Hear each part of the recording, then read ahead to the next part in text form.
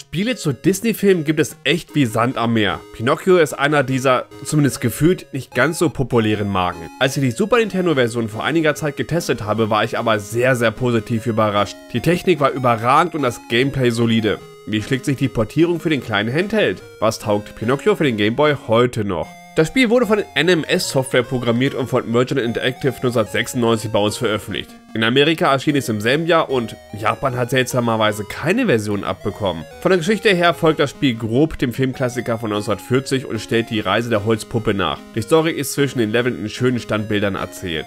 Im Prinzip ist das Spiel eine heruntergedampfte Variante des NES-Spieles. Ihr steuert die berühmte Holzpuppe in einem klassischen Plattformer aus der Seitenperspektive. Der Levelaufbau und Stil wurde dabei größtenteils übernommen, aber mehr dazu später. An sich ist die Steuerung simpel. Mit dem Steuerkreuz könnt ihr laufen, mit den Tasten springen und einen Trittangriff ausführen. Letzteren könnt ihr aber eigentlich sofort vergessen. Die Reichweite ist Mist und die Ausführung zu ungenau. Im Zweifel also Gegner einfach umgehen. Die Steuerung an sich ist zwar okay, aber trotzdem ist die Bewegung der Puppe dann doch nicht ideal. Das liegt vor allem an den Animationen. Diese schaffen natürlich ein schönes Bild auf dem Bildschirm, sind aber nicht immer ideal. Als Beispiel ist hier das Umdrehen des Charakters zu nennen.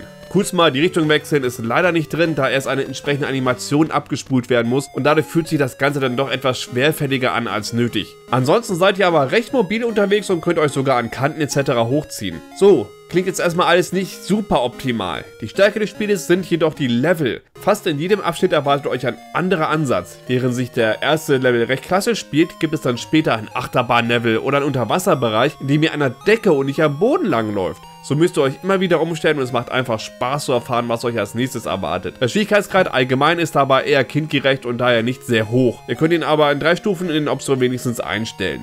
Leider gibt es auch keine Passwortfunktion oder ähnliches. Das ist hier allerdings auch einigermaßen verschmerzbar, da ihr relativ gut durchkommt und jetzt kein stundenlanges Spiel ist. Bei der Grafik haben die Entwickler sich bemüht, die Grafikpracht der SNES-Version zu portieren. Wie immer klappt es an manchen Stellen und an manchen nicht. Allgemein sieht das Spiel aber auch für den Gameboy durchaus gut aus, hätte es aber auch vertragen, einen ganz eigenen Stil zu bekommen. Die Animationen sind dabei aber erstklassig geraten, was aber wie angesprochen dem Gameplay teilweise nicht gut tut. Das Sound hingegen ist über jede Zweifel erhaben, er ist einfach wunderbar und passt perfekt zum Spiel.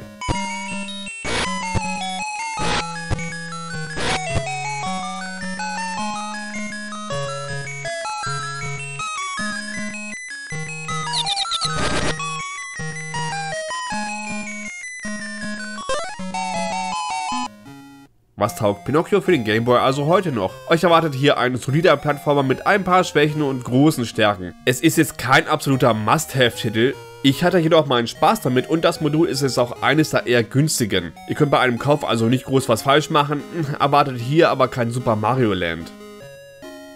Das war der Test zu Pinocchio für den Gameboy. Wenn es euch gefallen hat, ihr fantastischen Leute, dann wisst ihr, was zu tun ist. Und ansonsten hören oder sehen wir es beim nächsten Mal. Macht's gut, ihr Lieben. Tschüss.